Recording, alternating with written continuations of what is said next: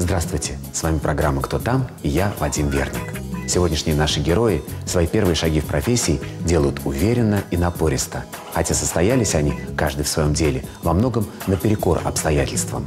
Денис Родькин был приглашен в Большой театр после окончания училища в театре танца «Гжель». И это уникальный случай для Большого.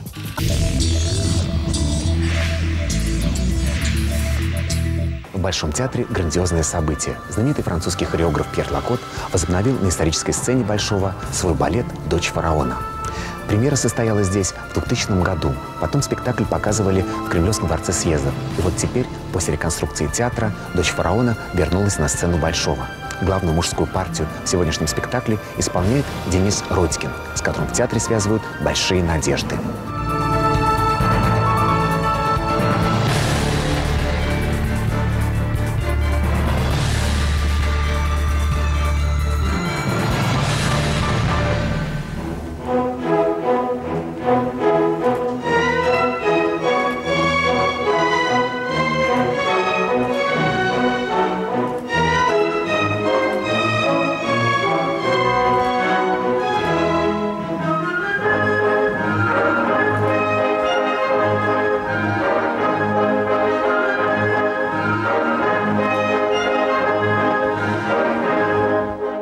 Идеальный принц, идеальный характерный артист. Он может э, танцевать очень многие разные балеты. Э, Его диапазон достаточно широк. Ну и просто он очень приятный, милый молодой человек.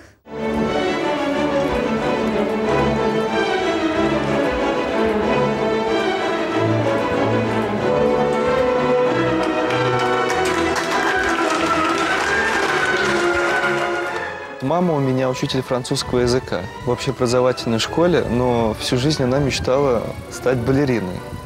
Вот, и в какой-то мере она реализовала свою мечту во мне. А папа у меня э, работает на авиационном заводе. Что касается самолетов, э, это все можно узнать у него.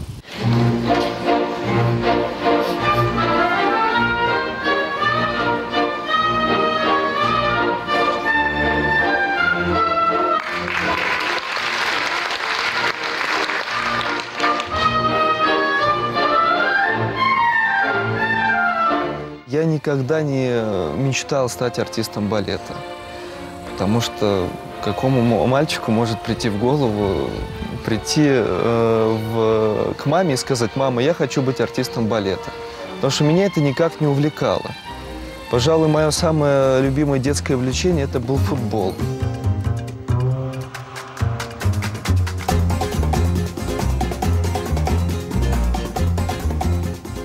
С ребятами собирались во дворе и устраивали там сумасшедшие матчи. Но после того, как в 15 лет я сломал ногу, я понял, что это не мое.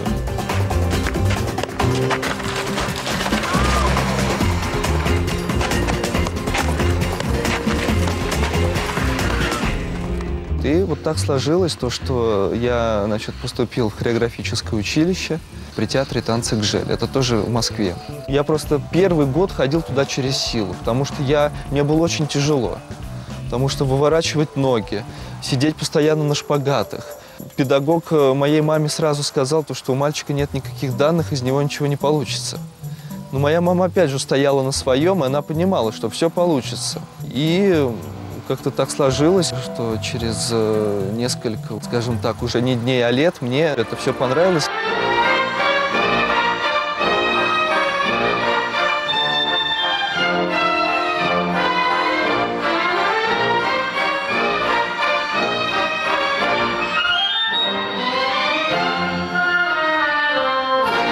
Сейчас, подождите.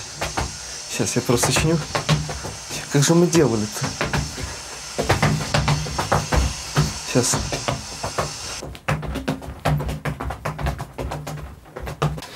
Я степом не занимался уже 12 лет, но мои ноги все еще что-то помнят.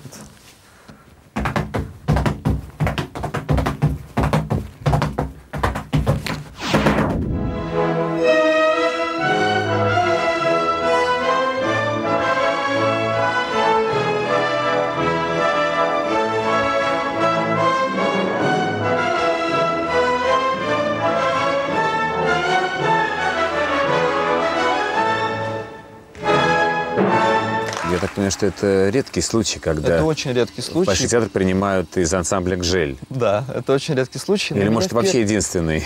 Ну, и, может быть, и единственный, не знаю. Ну, как бы до меня такого... Из Гжели никто туда не попадал. произошло в сентябре 2009 С того момента, видишь, я вот до сих пор терплю. Получилось так очень странно. В 2009 году, в сентябре месяце, в начале сезона, ко мне в класс пришло несколько молодых ребят. А какой-то мальчик вот ходил, ходил, ходил, ходил, и в один из дней просто я просто его спросил, он прыгнул, у него большой прыжок. Я спросил, откуда ты? Он сказал, вот меня взяли в этом году. Я руководство спросил тогдашнее, говорю, а откуда, зачем? Что мне сказали?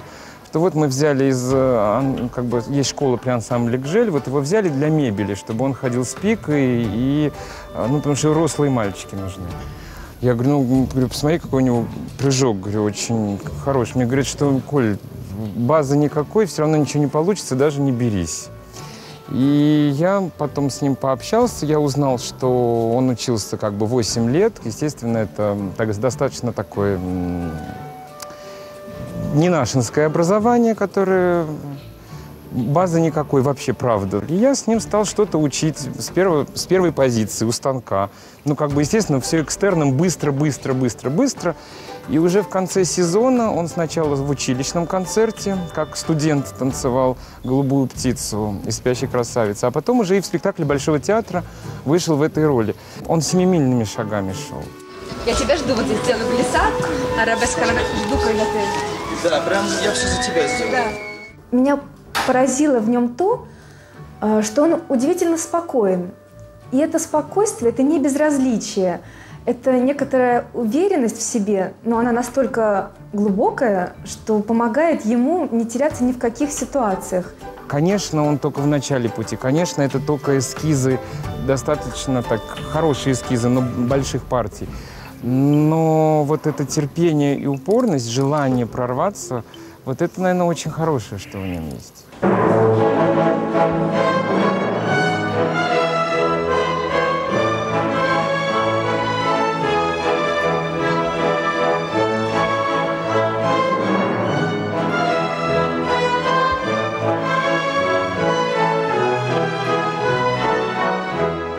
Герои твои, ну и сейчас, и в ду- будущем, это принцы, это влюбленность, это такая какая-то высокая материя. А тебе в жизни приходилось так всерьез влюбляться?